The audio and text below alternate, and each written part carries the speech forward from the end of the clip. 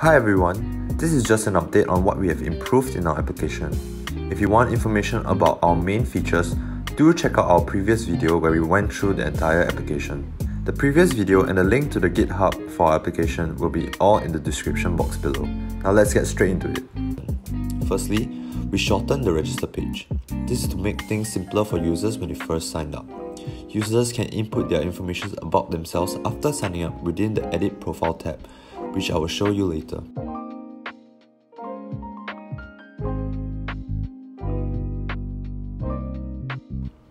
So first thing you'll notice upon logging in is that the navigation bar at the bottom is of a lighter color.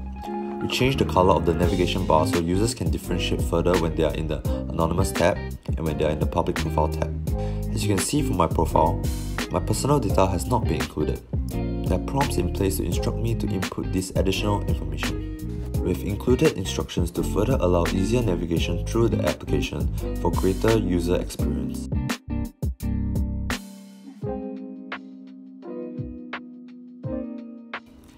Next, we have also added a filter for our Meet a New Friend function.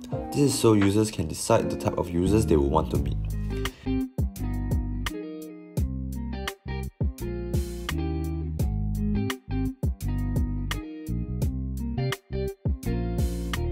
In a case where the filters produce no results, a red warning sign would appear to let them know that there is no such results.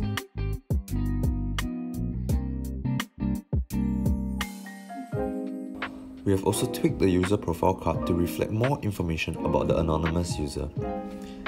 As per our previous implementation, if users decide that they would want to meet this anonymous user, an icebreaker question will be given to them to allow them to interact.